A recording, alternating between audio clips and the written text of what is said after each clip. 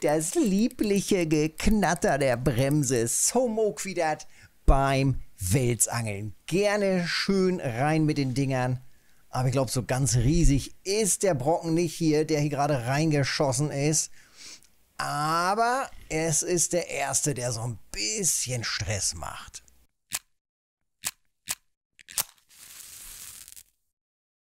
Also komm ran hier, du Lümmel. Keine Ahnung, wie groß er ist. Bisher hatte ich nur Kleinkram. Am, äh, an der letzten Nacht war ich hier am, im Hauptstrom unterwegs, habe auch ein bisschen rumprobiert und heute nochmal schön hier auf Wels an der Achthuber an der großen Störkurve.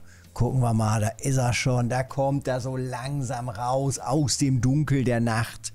Sehr nice. Und er hat überhaupt keinen Bock. Und wie er keinen Bock hat. Egal nehmen wir trotzdem mit. Auch wenn er keinen Bock hat, er kann sich nicht wirklich dagegen wehren. Man sieht sich hier gerade an den Kopfschlägen. Links, rechts, links, rechts, versucht immer abzuhauen, aber die Bremse hält. Und dementsprechend geht er nicht mal richtig in die Bremse rein. Gucken wir mal. Mitte 20, 30 Kilo maybe. 22, ja. Ein kleiner, ein Feini. Also, gar nicht so ganz riesig. Jetzt müssen wir mal eben gucken. Da wollen wir hinwerfen, wo dieser eine Pömpel, dieser eine Grasnüpsi ist. Da geht es hin. So, zack, reicht das? Ja, knapp 40, 50 Meter. Und dann locker hier wieder durch. Ähm, ja, normal wollte ich ja hier schön nochmal hin mit dem großen Wels-Setup, also mit der großen Konventional. Aber da hätte ich mich ja dann auch mit dem Boot wieder hinstellen müssen und dann stehst du da die ganze Zeit mit dem Boot und eigentlich muss ich ja sagen, das Welsangeln vom Land aus ist schon sehr angenehm. Es kann schon sehr angenehm sein. Der, der große Knackpunkt hier ist es, überhaupt richtig in den Jig reinzukommen. Denn wir haben hier sämtliche schlechten Voraussetzungen, die man sich auch nur ausdenken kann. Also komplett keine gute Idee, um hier in die Jig-Führung zu kommen. Zum einen ist es die Strömung, zum anderen sind es äh, Gewässerkanten, die äh, genau so verlaufen, wie wir es überhaupt nicht brauchen. Also normalerweise müsste man sich hier an der Stelle tatsächlich mit dem Boot hinstellen. Ich hatte das jetzt die Tage auch gesehen beim Black Pace. Der hatte hier schön an der Stelle mit dem Boot gestanden. Ich meine hier so in der Area und dann hier reingeworfen. Ich glaube, das ist auch eine ganz smarte Idee, hier einfach sich mit dem Boot hinzustellen, gerade wenn man auch nicht so weit auswerfen kann.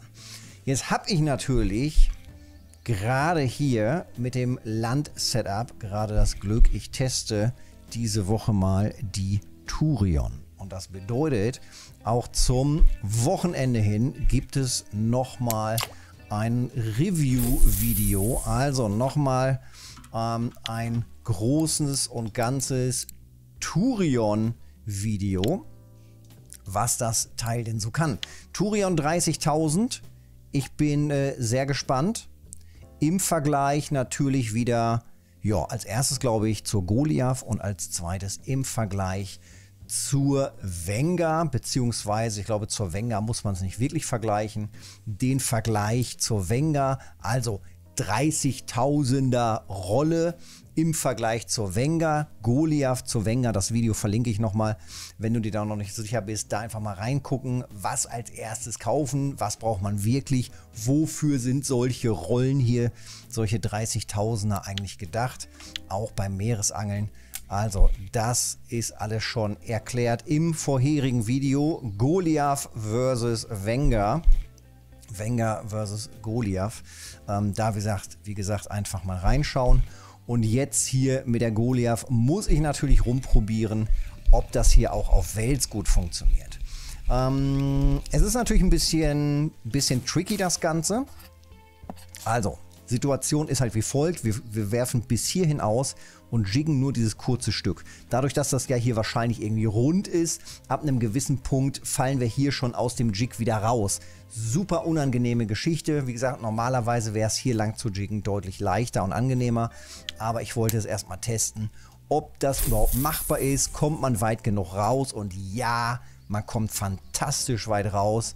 Also hier kann man richtig schön weit auswerfen.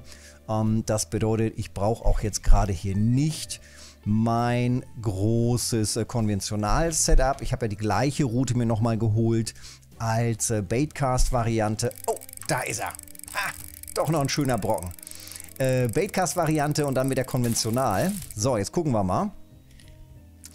Und äh, ja, ob das jetzt hier, ob das dann hier mit dem großen Konventional leichter ist, ist halt die Frage, weil man muss eben auch auswerfen können. Nachteil jetzt zusätzlich hier ist, ich weiß natürlich nicht, wie viel Getriebekraft diese Rolle hat. Bedeutet also, bisschen Risiko. Aber ich gehe einfach mal davon aus, dass wir hier nicht fettfingern und dass hier nichts kaputt geht. Von daher pull ich das Ding jetzt hier gerade einfach mal auf entspannt. Einfach nur ein bisschen halten. Guck mal, es kurbelt trotz allem. Das ist schon mal nice. Also unter Last, unter Druck wird hier gerade gekurbelt. Ich bin jetzt trotzdem hier auf einer 29. Die zieht mit Power einfach gerade kontinuierlich ein. Wenn man sich das jetzt überlegt, man hat vielleicht am Meer einen großen Heilbutt mit äh, 50 Kilo oder sowas, dann wäre das doch bestimmt vergleichbar. Jetzt machen wir mal zu. Gucken wir mal, bis wie weit er da reingeht in die Bremse oder ob er das überhaupt richtig macht. Ich glaube, er schafft das schon mal nicht. Das heißt, jetzt geht es hier komplett übers Getriebe. Äh, wir gucken uns gleich das Setup auch nochmal ganz im Detail an, wie das alles aussieht. Also, wenn das hier eine gute Möglichkeit ist, vernünftige Größen an Welse auch zu fangen, dann muss ich sagen, ja, Wolski, geiles Gerät dann wäre das schon top. Ich meine, mit der, mit der Goliath hatte ich das auch schon probiert. Ähm, da gibt es ja auch ein Video schon zu, zum Welsangeln, auch mit der Goliath, auch vom Land aus. Fand ich auch schon gar nicht verkehrt, kann man auch wirklich gut machen. Das hier ist der Riesenvorteil an diesen großen 30er Rollen. Ne, sobald man jetzt hier so ein bisschen Spannungsverlust hat, dieses schnelle Einkurbeln, was die dann eben hinkriegen. Also man macht dann halt richtig Meter, ne? Das heißt, man kann dann eben ordentlich rausziehen. Was man jetzt natürlich auch machen könnte, gerade hier an der Stelle, unausgeschlitzt, übertrieben. Schade, ich hätte es gern gewusst. Ich hätte gern gewusst, was es ist. Ich hätte gern das Gewicht gewusst. Ach, schade. Nicht schlimm um den Fisch, aber um die Info. die Info, darauf kommt es mir doch an. Ich will es doch nur wissen, was es ist. So, nächster Versuch. Wir lassen es mal so ein bisschen lockerer hier wieder. Bremse ist offen. Nochmal ein bisschen was snacken. Und weiter hier nochmal durchjiggen. Also, jetzt müssen wir wieder gucken. Vielleicht geht noch was rein. 6 Uhr morgens. Ähm, es wird natürlich langsam eng hier fürs Welsangeln. Aber mit Glück geht noch was rein. So, einfach nochmal locker durchziehen hier. Es wurden schon einige Wälse gefangen auf diesen Köder hier auf den Tiny Fish 006. Also Tiny Fish ist gerade on fire. Durchaus eine Option. Und ähm, auch Trophies wurden halt schon gefangen. Und auch im Hauptstrom. 15 Meter Loch hieß es. Ähm, gestern noch, genau. Vom äh, Lucky Lux, fettes GZ, zur Trophy. Äh, entweder 15er hier oder 15er da. Muss ich jetzt tatsächlich äh, nochmal nachfragen. 15 Meter Loch, auch im Hauptstrom die großen Wälse, aber eben auch, wie gesagt, da oben in der Kurve hier. Ähm, allerdings, ob das hier so gut ist, muss ich nochmal testen. Also sie sind da. Ja, es ist nicht schlecht. Selbst hier vorne, wir sind jetzt hier gerade auf 35 Meter, das ist nicht so wirklich weit. Ich mache mal jetzt ein bisschen langsamer mit ihm hier. Sie sind da und tatsächlich auch noch hier um kurz vor sieben in den Morgenstunden nochmal schön reingeschossen. Nochmal ein bisschen den Anschlag und dann gib ihm. So.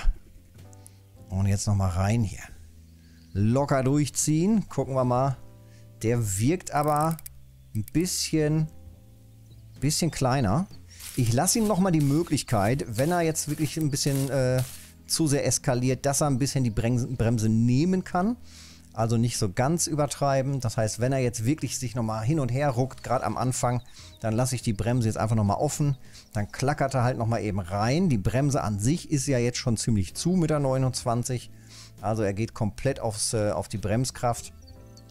Und äh, wenn er gleich so ein bisschen müde geworden ist, dann können wir immer noch die Bremse dicht machen und einfach durchkurbeln, beziehungsweise vielleicht auch einfach ein bisschen zurücklaufen und ihn langziehen. Na komm. Macht er was? Ah, er, ich glaube, er versucht halt, ne, nach links, nach rechts abzuhauen. Ja, da sind wieder die Bewegungen. Aber richtig viele Möglichkeiten haben sie halt einfach nicht, ne? Das Teil hält schon gut dagegen. Ist schon nicht verkehrt. Klack, klack, klack.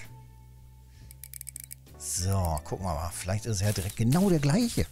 Vielleicht hat er schon ein zweites Loch, zweites Piercing. so, langsam ranziehen hier. 25 Meter noch, das ist doch ganz gut.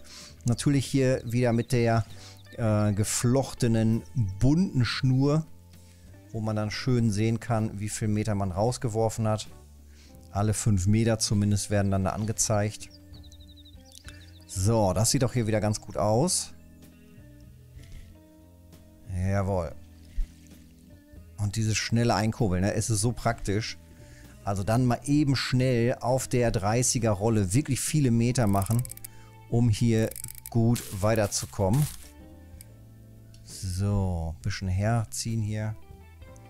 Aber ich pumpe jetzt auch nicht so hart rein mit der rechten Maustaste. Einfach nicht übertreiben. Der kommt schon. Der wird schon kommen. So, jetzt haut er so ein bisschen ab. Vielleicht laufe ich einfach gleich nochmal ein bisschen nach hinten. Schön Stück für Stück. Bremse ist noch offen, ist also alles recht entspannt. Ist jetzt nicht so, dass ich hier komplett gerade auf das Setup gehe. Aber mit dem langsamen Zurücklaufen kontinuierlich, natürlich auch die Action bei im Blick behalten, kriegen wir ihn einfach ein bisschen leichter gezogen. So, und jetzt Genau, schnell einkurbeln. Na guck, das ist doch schon ganz gut. Jetzt sind wir hier schon bei 10 Metern. Ist es ja schon ganz nah hier vorne. Und jetzt einfach nochmal locker ranziehen. Na komm. Nicht schlecht. Da kommt er auch schon an. Da ist er schon. So. Ja, immer wieder cool. Also ohne Scheiß, Welsangeln auf großem Setup, immer wieder cool. Ich muss sagen, Welsangeln auf kleinem oder mittleren Setup eigentlich eher eine Qual, weil man, ähm, weil es einfach ein, ein übermächtiger Gegner ist. Und ich muss schon sagen, es fühlt sich ja irgendwie besser an, wenn man weiß, okay, das Setup ist gewaltig groß und alles, was reingeht ähm, und dann halt in die Bremse geht oder sich halt richtig wehren kann, hat auch eine vernünftige Größe. Wenn man mit einem kleinen Setup irgendwie einen 30 Kilo Wels hat, dann ist man da halt schon ewig lang mit beschäftigt. Ähm, einfach für den Drill. Dann ist das halt irgendwie nicht so ganz befriedigend. Aber wenn man weiß, okay, der hat Bock, der geht jetzt auch mal richtig rein. Und ich sag mal, so ein 30 Kilo, den kriegt man relativ schnell raus. Dann ist es doch sehr angenehm. So, komm mal ran hier. Kriegen wir den schon. Schön weit unten lassen im Wasser. Na guck, knapp 30 Kilo. Das ging noch ratzfatz damit. Ähm, ja, nicht verkehrt. Also so das Setup gerade zusammengebaut. Natürlich hier die große, fette Ultima SM100HH. Also die Heavy, die ganz schwere mit 10 von 10 Power, dass wir eben die Kraft richtig schön auch übertragen können. Oder die, das Gewicht des äh, Fisches geht dann halt auch hart in den Blank rein. Und äh, ja, mit 142 Kilo Tragfähigkeit ist das natürlich schon mal ein Statement. Hier das Ganze gerade mit 136 Kilo beangelt. 136 Kilo Tragfähigkeit auf dem monophilen Vorfach, also auf der Nylonschnur. Ähm, hier die Hauptschnur hatte ich jetzt einfach mal die 200er genommen. Passen 400 Meter vorne drauf. Also komplett ausreichend. Ähm, ja, den großen 6-0er Haken habe ich verwendet. Und dann eben hier den Tiny Fish. Der geht sogar bis zum 8-0er könnte er hochgehen. Aber da kollidieren wir, glaube ich, mit dem Wurfgewicht. Also von daher passt das hier ganz gut in diesem Setup. Wir sind jetzt hier bei 54 Gramm. Und äh, wir könnten sogar noch ein bisschen größer rein. Oder eben auch andere Köder noch nehmen. Zum Beispiel hier die, da, die Salty Fist. Hier mit äh, 19 Gramm. Siehst du, das passt dann eben auch noch. Also auch das wäre halt durchaus nochmal eine Option. Ich werfe einfach mal direkt raus hier. Vielleicht geht ja sogar noch was rein. Und dann, ja, geht es weiter hier. Ansonsten natürlich jetzt gleich den Tag irgendwie wieder überbrücken und gucken, was man da machen kann am Tag, damit sich das auch lohnt. Ja, so sieht es gerade aus. 0,1 schon auf dem ähm, auf der Bremse 0,1 Prozent, also gerade angekratzt, minimaler Verschleiß, also gerade genutzt. Ich bin gespannt, wie sich das Ganze jetzt entwickelt. Am Ende der Woche sehen wir dann mehr und dann wissen wir das auch, wie es ist vom Verschleiß her, wie viel Tragkraft das Getriebe hat, werde ich wahrscheinlich bis dahin noch nicht wissen. Mm, ich denke nicht oder ich hoffe auch nicht, dass mir hier irgendwie was durchreißt. 136 Kilo. Ich vermute einfach mal, dass das Getriebe mehr Kraft hat. Das heißt, wenn ich zumache, wenn da was dran geht und wenn ich dann Fettfinger, äh, geht mir eher das Vorfach durch als das Getriebe. Einfach reine Vermutung erstmal. Ähm, werden wir sehen. Ich hoffe, wie gesagt, dass da nicht irgendwie was reingeht, was mir das Getriebe oder Vorfach zerstört. Ja, so sieht es aus. Die ersten beiden kleinen Wälse. Das war vorhin noch hier und das ist doch bisher schon nicht verkehrt. Die Stelle, wie gesagt, muss man halt so ein bisschen testen. Es gibt auch eine Möglichkeit, glaube ich, da drüben sich an Land hinzustellen, aber da ist man dann auf jeden Fall richtig verratzt. Da kann man nicht weiter laufen. Deswegen also am besten entweder hier mit dem Boot hinstellen oder dann eben hier vom Land aus probieren und versuchen auf kleine Strecke ein bisschen zu jiggen und hoffen, dass man da gut reinkommt.